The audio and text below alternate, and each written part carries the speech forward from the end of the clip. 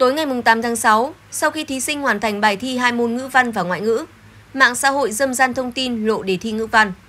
Theo một tài khoản đăng tải trên nhóm Zalo, đề thi ngữ văn ban đầu dự kiến nằm trong tác phẩm Bếp lửa của Bằng Việt. Đề thi nghị luận bàn về lòng dũng cảm.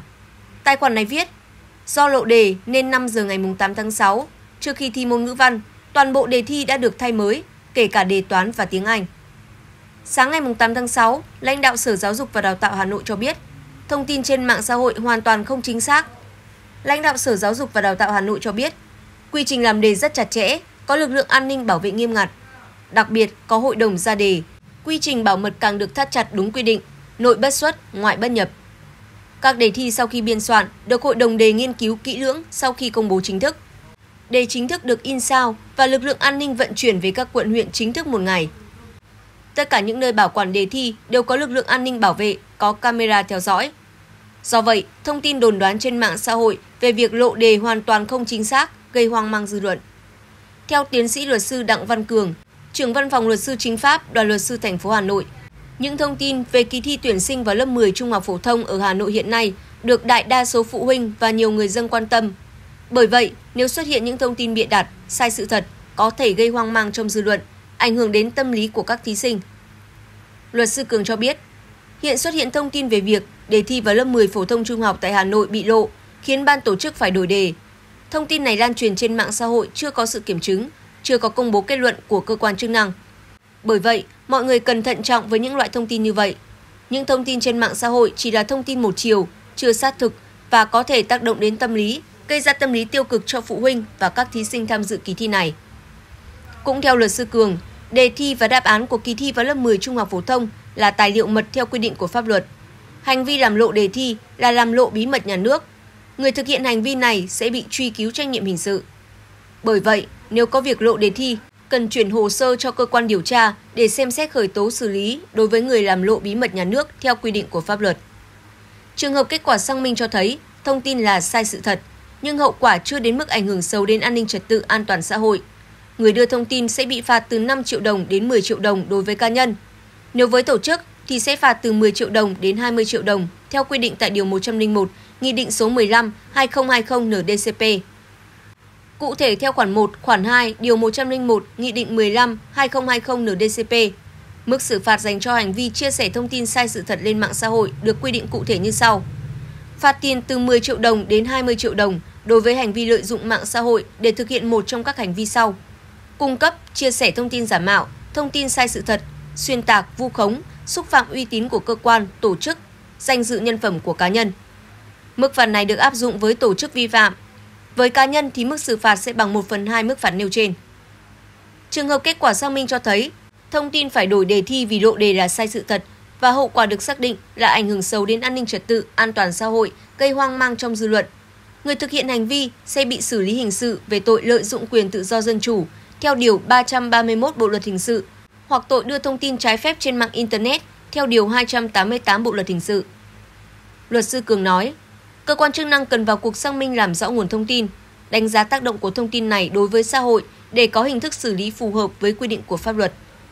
Trường hợp thông tin là thật, Sở Giáo dục và Đào tạo Hà Nội cũng có thể công bố thông tin sau khi kết thúc môn thi cuối cùng, đồng thời xem xét trách nhiệm của cơ quan tổ chức cá nhân để xử lý theo quy định của pháp luật. Sáng ngày 8 tháng 6, hơn 100.000 thí sinh Hà Nội bước vào môn thi đầu tiên là môn ngữ văn vào lớp 10 Trung học phổ thông công lập năm học 2024-2025. Kỳ thi tuyển sinh vào lớp 10 năm học 2024-2025, toàn thành phố có gần 106.000 lượt thí sinh đăng ký dự thi, hơn 11.000 lượt thí sinh đăng ký dự thi môn chuyên và hơn 250 lượt thí sinh dự thi song bằng.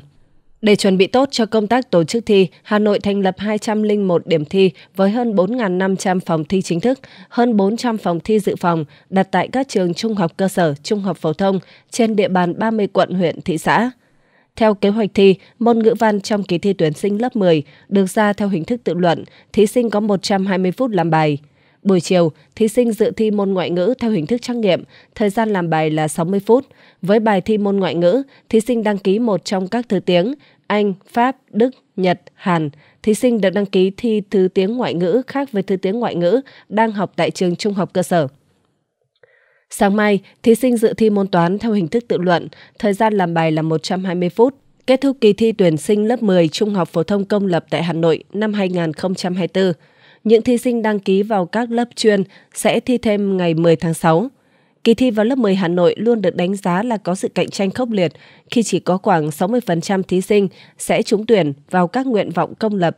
Trong số trường Trung học phổ thông Yên Hòa có tỷ lệ trọi cao nhất với một trọi 3,11, tức là trung bình. Cứ 3 thí sinh dự thi sẽ có một em đỗ. Xếp sau là trường Trung học phổ thông Lê Quý Đôn Hà Đông với tỷ lệ trọi là một trọi 2,9 và trường Trần Hưng Đạo Hà Đông với tỷ lệ trọi là 1 trọi 2,55. Điểm xét tuyển lớp 10 bằng điểm toán cộng điểm văn nhân 2 cộng điểm ngoại ngữ cộng điểm ưu tiên. Dự kiến chậm nhất là ngày 2 tháng 7, Hà Nội sẽ công bố điểm thi. Điểm chuẩn lớp 10 của Hà Nội được công bố vào ngày 6 đến ngày 9 tháng 7. Thí sinh trúng tuyển sẽ xác nhận nhập học từ ngày 10 tới ngày 12 tháng 7. Từ ngày 19 tới ngày 22 tháng 7, những trường chưa đủ chỉ tiêu sẽ xét tuyển bổ sung. Trong ngày 7 tháng 6, Sở Giáo dục Đào tạo Thành phố Hồ Chí Minh đã có buổi họp thông tin về kỳ thi lớp 10 năm học 2024-2025 diễn ra trong hai ngày vừa qua.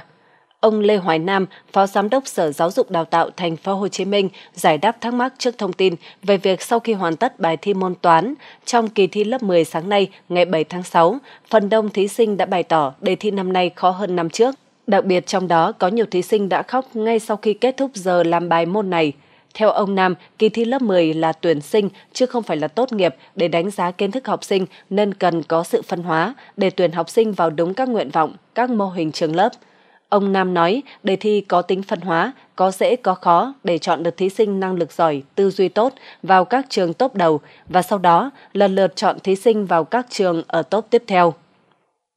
Đặc biệt, Phó Giám đốc Sở Giáo dục Đào tạo Thành phố Hồ Chí Minh nhấn mạnh, đề thi lớp 10 vẫn đảm bảo được theo yêu cầu tuyển học sinh, khó thì khó chung, không ảnh hưởng đến nguyện vọng trường đã chọn của học sinh. Trong quá trình chấm, hội đồng chấm thi sẽ thống nhất đáp án để làm sao đảm bảo công bằng cho học sinh nhất. Và chủ trương chung trong việc biên soạn đề thi lớp 10, ông Hồ Tấn Minh, tránh văn phòng Sở Giáo dục Đào tạo Thành phố Hồ Chí Minh thông tin, trước khi biên soạn đề thi lớp 10, hội đồng biên soạn sẽ xây dựng ma trận đề, từ năm 2018 đến nay, hàng năm trong định hướng của Sở Giáo dục Đào tạo Thành phố Hồ Chí Minh đều có sự tăng thêm về tính vận dụng kiến thức vào thực tế để áp dụng giải quyết vấn đề đặt ra. Hàng năm, lượng câu hỏi sẽ nhiều hơn. Đến thời điểm này, hoàn tất chương trình giáo dục phổ thông 2026 để bước sang chương trình giáo dục phổ thông 2018, phù hợp với mục tiêu đánh giá năng lực phẩm chất học sinh, chứ không chỉ là kiểm tra đánh giá nặng về kiến thức như trước đây.